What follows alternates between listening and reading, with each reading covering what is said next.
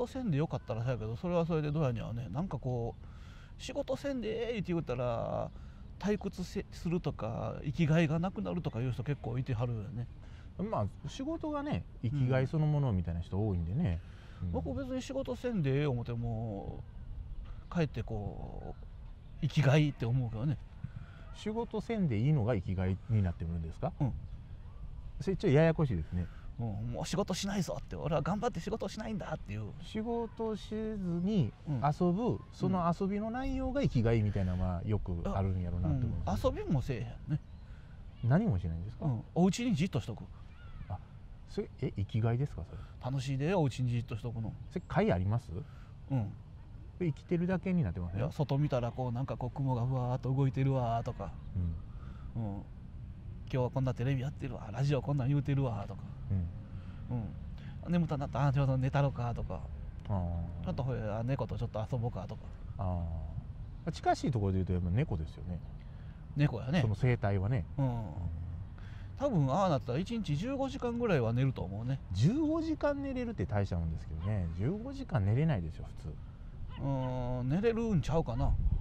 通いやー15時間はなかなかなんか腰とか変な感じになりますよなんかあの水木しげるさんが言ってはったよね。寝てる間はこう人生に通算されへんからたくさん寝たら長生きする。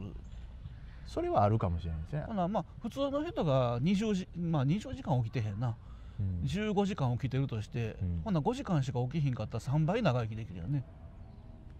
まあでも5時間しか起きてないんでね。3倍長い、まあとうん、通算一緒やからまあうんうんね3倍長生きしてほんなら今80歳として240歳まで生きるで。240か。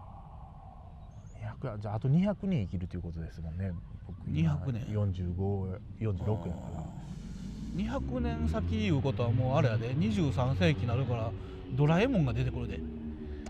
あののび太くんのうん、孫みたいなのが出てくるせわしくんせわしくんうん、せわしくん見れるか分からへんね。のび太くんは結構のんびりしてやるけどせわしくんは世話しないんですか？ちゃんと。うんなんか分からへんけど賢いねんでちょっと。せわしくんは、うん。のび太くんはまあのび太くんでしょ？のび太くんや。まあのび太くんは誰が命名したんかおじいちゃんかおばあちゃんかお父さんかお母さんが命名したんでしょうせわしくんの名前は誰か止めなかったんですかね？なんかねそれ言うたらジャイコなんか大会ひどいね。ジャイコはあだ名じゃないんですかなんぼあれねジャイアンは郷田武史でジャイアンやねんけども、うん。ジャイコは郷田ジャイコやねんあれ。ジャイアンありきの名前やのに。うん。もう先行してこの子みんなからジャイアンジャイアン言われてるからジャイコでええかみたいな。そうやろうね。でもジャイアンの子供やったらジャイコはわかんないですけど妹なんでしょ？うん。うん。ジャイの妹子やったら ジャイの妹。子うんジャイジャイの妹子そうやけどもなんか男か分からへんよね。まあまあ遣隋使にうんなんかね妹子ってあれどう考えてもあれやけどね。う、ん。うん。あれ男やったよ。もうひどい話やね。何なんでしょうねあれは。どういうところから妹子ってつけたんでしょうね。ね。そのお母さんが双子かなんかでどっちの子やったっけ、みたいな話になった時に妹の子やわみたいな。あ妹の子がみたいな。ほな妹子やーって。うん、兄子がいないと兄子もな、うん姉子もいるやろしな、うんうん、なんかあの時代の人の考えることってよく分からへんね、うん、大江の王子とかねうん中野大江の王子鎌足りとか桁の名前もねうんなんか塊みたいわねうんちょっと柔らかいですけど塊より鎌足りって言われたらちょっと半熟かなっていう感じがああーちょっとそんな感じはあるな、、うんうん、なんか鎌足りしそうやもんね、鎌足りしそう。鎌足りしそう。だから中途半端に構ってくれる人みたいな。鎌足りしそう。うん。あなたちょっと鎌足りよって、中国人になんかあの命令されましたね、今うん。ね鎌足り鎌ってあげなさいよみたいな。鎌足りって。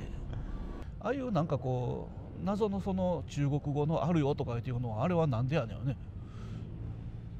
実際言うてたんでしょ、「あるよ」って。うん、うん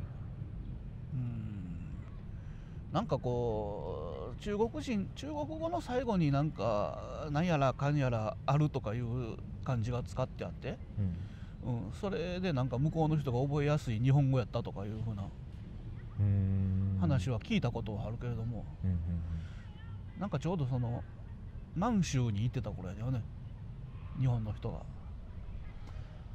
はあ。満州に行ってた頃、なんかね満州に行ってた頃に中国の人とのコミュニケーションとんのにああいうちょっと中国語内図された日本語みたいなのがなんか流行ったみたいで、へえうん、ほんで反対に日本人もなんか中国語っぽい中国語じゃないのがこう結構ね流行ったらしいね、なんか脳天ファイラーっていうやね何どういう意味ですか？脳天ファイラー。なんか脳のてっぺ点点の点の脳の点に、うん。うん、壊れるで終了の了解で脳天ファイラーって、うん、お前アホやっていうの？そうなんや。結構回りくどい言い方しますね。ね脳全体じゃなくて脳の上の方の部分だけが、脳天ファイラうーうん、なんかもうかなりの年寄りでもそんな古い話は聞かんっていうぐらい古いお話よね。なんか昔の年寄りがよ脳天ファイラーって言うてた今流行らしたら面白いと思うけどね、ーえーそうですかね。うん、うん。ちょっとハイカラや。ハイカラですか？なんかこうね普通みんな言えへんし ちょっと。まあ普通言わへんでしょうね。あんま知らへんし。うん。エキセントリックでハイカラなイメージがあるかもね、あの昔の中国人の日本語っていうのは基本命令口調なんですってね、ああそうなんや。うん、あの日本語を教えてくれる人が命令口調やったからっていう、うん、うん。お前これやっとけって言われてはいみたいなんやからお前これ運べっていうのが普通になってたお前これ運ぶよろしいとか言えへんのかな、あーあったでしょうけどね、うん。うん。ちょっと運べはきついかなと思ってよろしいって入れたらいいかなみたいな。ああシルブプレーみたいな感じでね。シル、ブプレーっていうのはそういう意味なんでうん、なんかそんな感じよろしいっていうのはちょっと命令したけど褒めとこうかみたいな、ああお前これ運べ。よろしい？うん、よろしい。よろしい。よろしいっていうことなんですかね。よろしい。どういうことなんでしょうね。あの瀬橋君の孫はよろし君ぐらい。ああよろしくんな？うん。また癒しくんとかかと思ったけどな。あ癒し君とかもいてるんですお腹減らしてんねでも親が我が子にうん。癒し君って名付けるってね、うん。まあのび太君から瀬橋君来てまあちょ流れ的にはまあそこ行ってもおかしくはない家族やなとは思いますけど。やかましくんとかね。あー名前がやかましいですよね。やかましい。花肌しとかね、うん、ちょっと 複雑になって。うん。そういうなんていうか23世紀にはどんなことが起こるんやろうっていうね、うん、うん。うん、ことを考えたりしながらとりあえずはその前にこのコロナがどうなんねやろうという。そうなんですよね。に門真国際映画祭2020ですよ、うん。うん、もうこれ開催できるかどうかわからないぐらいの勢いになってきてますよね。今オリンピックが延期かなんかで、ね年にやろうかなみたいな言い出してる言うて。ねうん来年しようか再来年しようかって言うてるよね、うん。うん。再来年したら冬と夏がまた一緒になるもんね。うん。うん。あれでもいつ頃からか一緒にしなくなったんですよねあれそうそう1992年かなんかやったんちゃうかな。リレハンメルからちゃうか。っうん。ていうようなことを朝テレビで言うてたような気がするんだけども、うん。うん。でもねもうバラバラにした方がええんかなやっぱりね。まあでも一色たにされちゃうとあれやからまあ夏と冬っていうのは、まあきちっとしといてもらったとして、うん。まあ、その年にやってもらうと、まあ、オリンピックイヤー感ありますかね。にあれ？今2年に1回になっちゃってますもんね。うん。あれなんかそのね合わせる時って冬のオリンピック結局間2年しかあかんとやったもんねあそこね。今度6年空くことなんよね。うん。うん。うんあれ冬と夏と両方出る人なんかおったらやっぱりあれかなこう化けて思った方がええんか分からんねピードスケートの人とかそうですもんね。うん。競輪とスピードスケートって両方ともどっちですか？冬ですか？いや競輪は夏じゃんね多ですよねきっとね、うん。じゃあそれ両方出てはりますもんね。うん。太ももの太い人たちが、うん、太もも太いなあれ、うん。普通の人のウエストぐらいあるもんな、うん。うん、中野浩一とか昔なすごい太い、うん。すごい血管もすごいですもんね足の血管、うん大変ですよ。あの血管維持したまんま来年なとか再来年なって延長されるんですよ。オリンピック。いやもう今年やろうやっていう人多いもうもうこの血管限界やねみたいなな、うんもう維持せなあかんのでしょ。今までも一生懸命やってきたのにまた1年間一生懸命をキープしないとダメでしょ。スーパーサイヤ人のままで1年過ごすようなもんやもんな。いやスーパーサイヤ人はどうなんですか？結構しんどいんですか？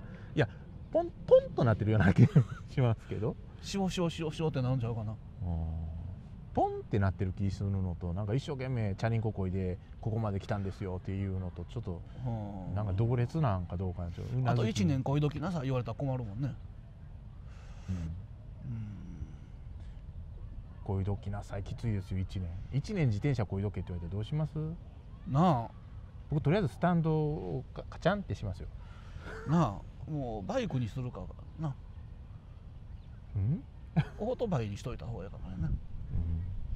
うん、でも1年間ずっとまたがってんの嫌やな。ああ。